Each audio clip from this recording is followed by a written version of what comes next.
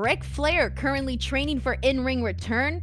Tessa Blanchard believed to be done with Women of Wrestling.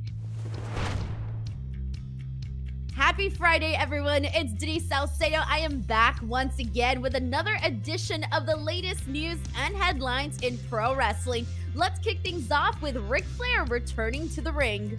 Dave Meltzer is reporting that Ric Flair, age 73 years old, is training to wrestle again for the first time since 2011. He said, quote, Ric Flair is training to wrestle again. The stories about his return are accurate. Flair hasn't wrestled since 2011 when Sting defeated Flair on an episode of Impact Wrestling. Although he did do matches during a Hulkamania tour in Australia and Impact Wrestling, his in ring career largely ended in 2008 when Shawn Michaels defeated Flair at WrestleMania 24 in a retirement match. In recent weeks on social media, Flair has posted a video of himself training with AEW star Jay Lethal. Ric Flair left WWE in 2021 and made a few appearances post WWE, including a Triple A's Triple Mania event and NWA's 73rd anniversary last year. He has not made any high profile appearances since an episode of Dark Side of the Ring aired in September regarding the plane ride from hell incident where a flight attendant accused Ric Flair of sexual assault.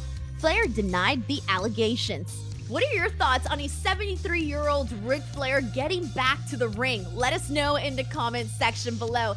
Now, an update on Tessa Blanchard and Wow Women of Wrestling. In this week's Wrestling Observer newsletter, Dave Meltzer confirmed reports from last week that Tessa Blanchard and Women of Wrestling have been at odds and that the belief is that she is no longer with the promotion. The former Impact World Champion was not at the show's first round of TV tapings last weekend as they returned after a long absence with a new syndication deal in tow. Meltzer said that the two sides had different ideas and were constantly butting heads. Fightful reported last week that there have been issues between both sides, partially related to a mid April promo she cut on a wrestler named Samantha Sage Americana during a class. While the subject matter is unknown, they reported that many trainees spoke up about it and further promo classes were canceled.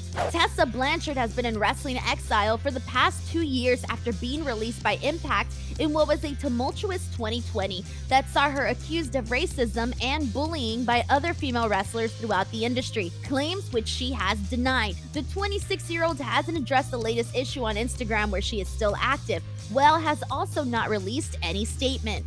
There you go, a quick roundup of the latest here on F4W Online. As always, do not forget to give this video a like, subscribe to F4W, and make sure to check out my show, Speak Now Pro Wrestling, live here Tuesdays, Wednesdays, and Fridays. And if you guys want to come chat wrestling, you can hit me up on Twitter and or on Instagram at underscore Denise Salcedo. I'll see you guys next time. Bye.